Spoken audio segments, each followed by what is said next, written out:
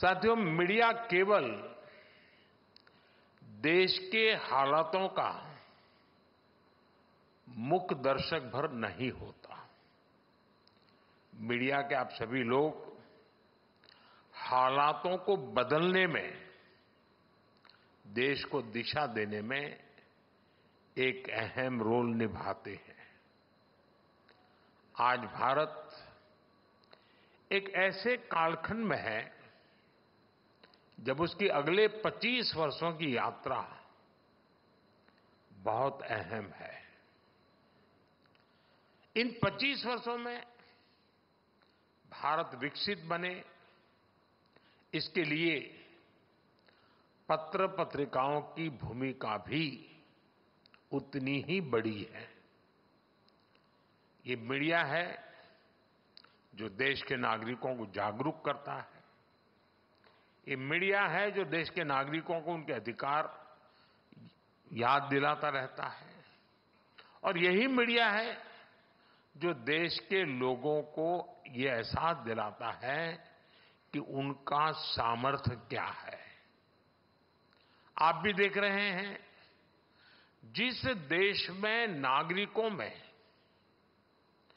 अपने सामर्थ्य को लेकर आत्मविश्वास आ जाता है वो सफलता की नई ऊंचाई प्राप्त करने लगता है।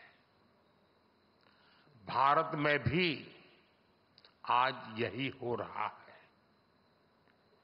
मैं एक छोटा सा उदाहरण देता हूँ आपको। एक समय था जब कुछ नेता खुलेआम कहते थे कि डिजिटल ट्रांजैक्शन भारत के लोगों के बस की बात नहीं है। ये लोग सोचते थे कि आधुनिक टेक्नोलॉजी वाली चीज़ें इस देश में नहीं चल पाएगी। लेकिन भारत की जनता की सूझबूझ और उनका सामर्थ्य आज दुनिया देख रही है। आज भारत डिजिटल ट्रांजैक्शन में दुनिया में बड़े बड़े रिकॉर्ड तोड़ रहा है। आज भारत के यूपीआई की वजह से आधुनिक डिजिटल पब्लिक इंफ्रास्ट्रक्चर की वजह से लोगों की ईज ऑफ़ लिविंग बढ़ी है। लोगों के लिए एक स्थान से दूसरे स्थान, पैसे भेजना आसान हुआ है।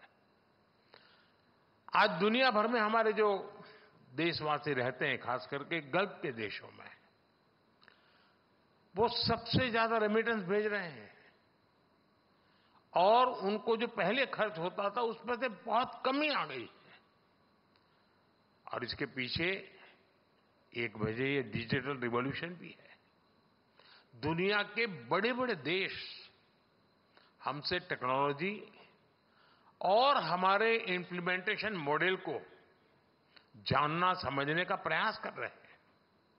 ये इतनी बड़ी सफलता सिर्फ़ सरकार की है, ऐसा नहीं है।